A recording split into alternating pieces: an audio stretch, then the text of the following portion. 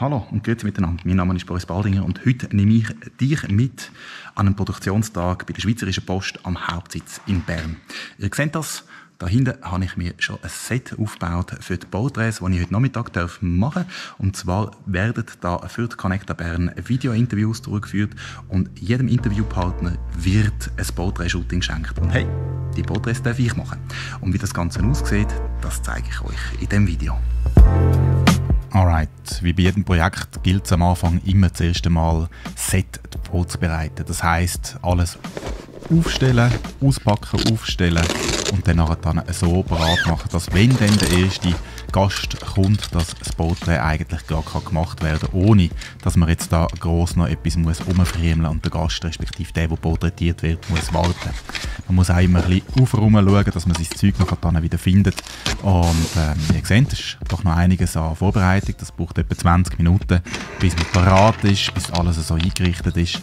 Ähm, nicht immer ganz einfach, auch wenn man da den Hintergrund muss aufnehmen muss, wenn man alleine ist, aber in der Regel funktioniert das. Da klebt man am Schluss noch Positionen ab, damit man dann von links und rechts kann belichten kann und am Ende hat man ein schönes Set.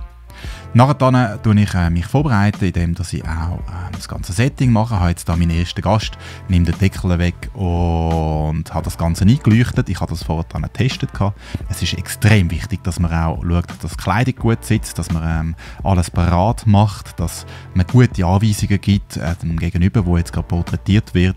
Und ja, dann geht es schon weiter. Und zwar ähm, gibt es auch Zoom-Interviews, das heißt Interviews, die nicht direkt vor Ort durchgeführt werden, sondern via Computer. Da sehen wir die Eileen, die ist da schon mit dem ersten Gast unterwegs. Da musste ich extrem leislich sein und bin natürlich wahnsinnig froh um den Silent Mode äh, von der Sony Alpha 1, damit ich sie da nicht groß störe. Ich bin dann da auf die Zehenspitze umgeschlichen und probiert verschiedene Winkel zu finden und ein paar schöne Momente einzufangen, wo die Eileen da am Interview ist.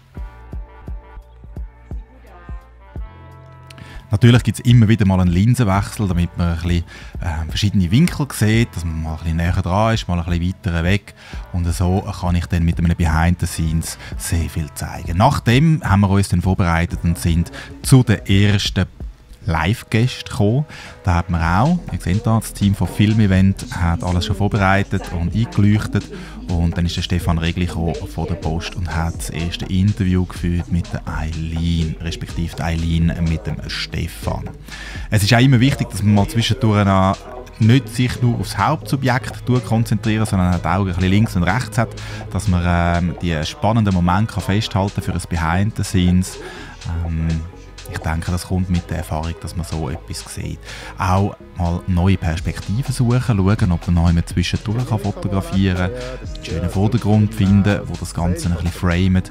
Und ihr seht, ich bin immer ein bisschen auf dem Weg, probiere neue Winkel zu finden. Und am Schluss gibt es dann noch ein Gruppenfoto, einerseits das zweite und dann mit dem ganzen Film-Event-Team. Das ist immer schön, wenn man das kann dokumentieren kann.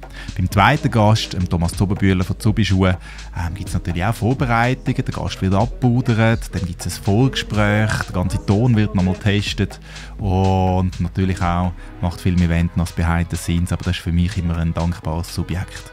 Auch da gesehen, probiere ich mal abseits von der Hauptbühne ein paar Bilder zu machen, sodass die Varietät extrem groß wird. Und da sind wir immer noch im Vorgespräch, die Leute interagieren und das gibt einen unheimlich guten Eindruck von dem, was da hinter der Szene, hinter, der, hinter dem, was man sonst normalerweise kennt, passiert. Ich probiere das Ganze auch noch ähm, auf Social Media festzuhalten und äh, ein paar Instagram Stories zu machen. Und zum Schluss gibt es noch ein paar Bilder vom Team. Ja, das wäre es soweit. Ich hoffe, euch hat es gefallen und ich würde mich unheimlich freuen, wenn ihr das nächste Mal mit dabei seid, wenn ich euch wieder ein Video kann präsentieren kann von Behind the.